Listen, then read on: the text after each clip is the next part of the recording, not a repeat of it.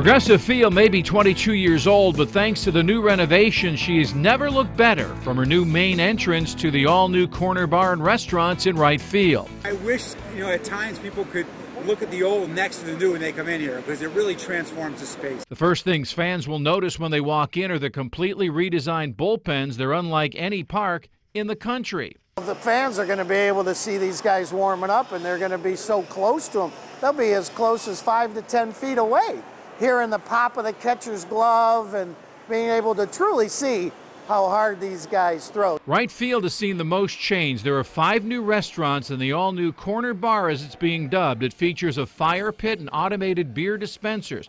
For $13, you can purchase a district ticket online. It's a standing room only ticket that lets you view the game from inside the corner bar or by the drink rails that occupy much of the upper corner. For $13, you're going to get access to this whole area, not just the bar, but all this social space. And the first drink is going to be on us. And if food is your thing, come hungry. As we said, there are five new neighborhood themed restaurants to choose from.